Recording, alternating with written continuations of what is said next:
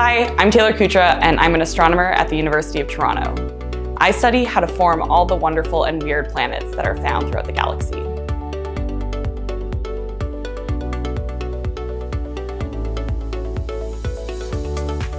Lots.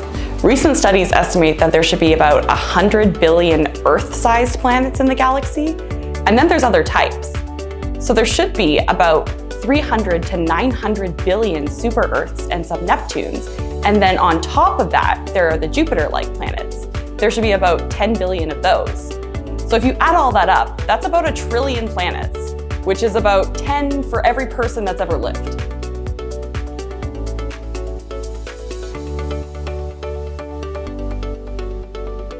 No, we only currently know of about 4,000 exoplanets. And that's because we haven't been searching for very long, and they're pretty hard to find, particularly the ones that are, we're interested in for habitability's sake, the ones that kind of look like Earth.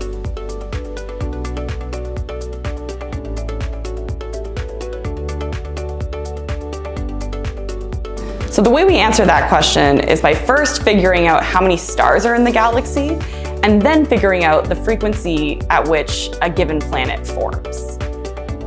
So first, we know that there are about 100,000 to a trillion stars in the Milky Way galaxy. And then, by doing surveys of stars and looking for planets, we can figure out how many of those stars host a particular type of planet. So, about 18% of stars host Earth-sized planets. About 30 to 50% of stars host super-Earth or sub-Neptune type planets, and about 1% of stars host a Jupiter-like planet.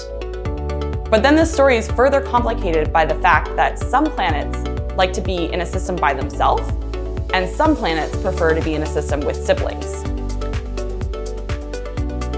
So the super-Earths and sub-Neptunes, for example, they mostly form in systems with about three super-Earths and sub-Neptunes.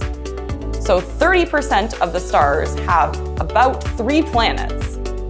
And so adding all of that, that up, that's how we get to a trillion planets.